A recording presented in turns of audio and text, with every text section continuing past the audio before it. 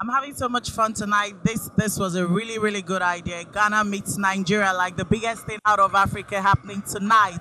I enjoyed Shatta. Actually, this is the first time I'm seeing him perform on stage in Nigeria, and the guy is a whole lot in a good way. I enjoyed watching him, and of course, I love my Nigerian artists. I'm looking forward to watch um, to see Two Face perform. And so I'm having lots of fun. I've watched and enjoyed everybody's performance. So I'm looking forward to see Two Face, and I'm looking forward to see Olamide and um, a whole lot of others. And the Ghanaian Becca, oh my gosh, was awesome. I'm having I'm having a great time out here. It's a good thing once in a while you put the African giants together and see what it comes. And the, tonight is what happens.